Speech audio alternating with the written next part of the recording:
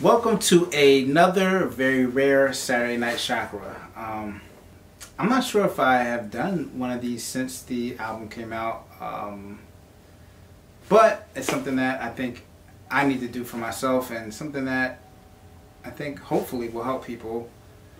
Um, and today, um, I had a message that was on my mind a couple days ago that I wanted to do for Saturday Night Chakra, which is why I, you know, decided to record. But then when I sat down to record it, I completely forgot it.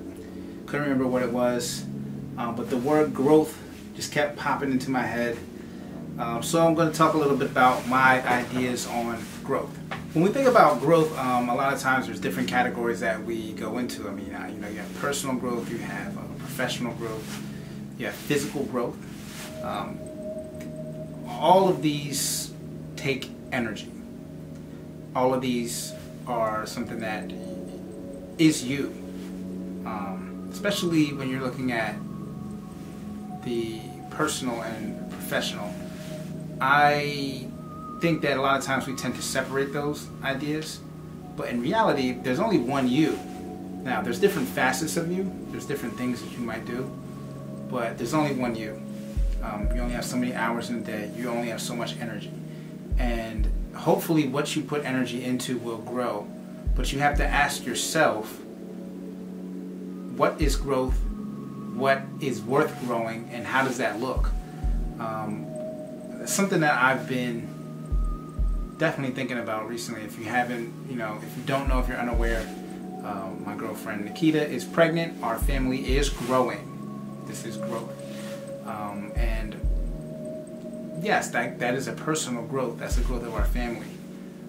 But at the same time, now we have to expand our ideas of professional growth. How do you balance this? um, where am I going to place my energy? What is most important? And I think that's something that we forget about when we talk about growth. When you're a kid, growing requires a lot of energy. You have to sleep. Your body's going through all these changes. There's pain because you know have, your, your joints might hurt. That's what happens when you grow. Changes causes friction. Changes causes you know discomfort, and growth is change by its nature. Um, there's no way around it. And I think we have to, one, embrace that, embrace that growth is change and, and accept that. And two, try our best to put, make the areas that we want to grow, grow. Happiness is an area that I think people forget about when they're talking about growth. I think you have to intend and find intention on growing your happiness. Um, so there's a lot of areas, right? So how do you find the energy to grow all these areas? How do you balance those things? You know, I think it's funny because I've been doing like you know Saturday Chakras for a few years now, and so many times I return to this idea of balance. I use that word so many times when it comes to this, because um, really that's that's the ultimate key. And, you know, you have to find some sort of balance, even when you're trying to figure out how, you're going to spend your energy to grow something.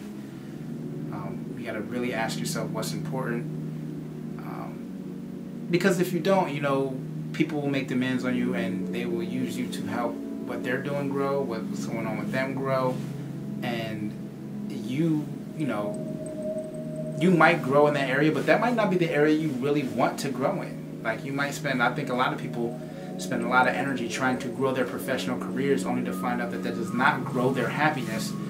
And their trade-off is not something that they were happy about. Um, so I think it's just good to be intentional about where you're growing, how you're growing, and, and what you're putting your energy into, and finding that balance. So uh, for me, I have been very intentional over the past few months of trying to trying to find ways to grow professionally in ways that will help my growing family. Like that's really been my concern. I'm trying to I I'm big on combining everything. I don't separate like that. Like I understand that there are separate things, but I I never lose sight of there everything's connected. So to me, it's how can I combine you know, how can I make, how can I fuse them? How can I fuse my professional growth with my personal growth in a way that, that blends well? Um, and that's just how I like to do things. I'm big on combining things. I know some people like to separate, um, but from my perspective, everything is connected, you know. So that's what I've been doing. Um, I hope you know if you guys are out there. I know that it's been a it's been a tough year still. You know, we're still you know hopefully we're coming to the end of of um, a, a certain type of quarantine but I don't think that things will be back to normal as many of us knew it for a long period of time, and that's going to take some adjustments. And um, I hope that you guys can find balance in that. And I hope that these, this period of time that we're still in, where you have some time to self reflect on what's important to you, that you figure out what areas you need to grow, how you need to grow, and what's important for you to grow. Saturday Night Chakra. We out.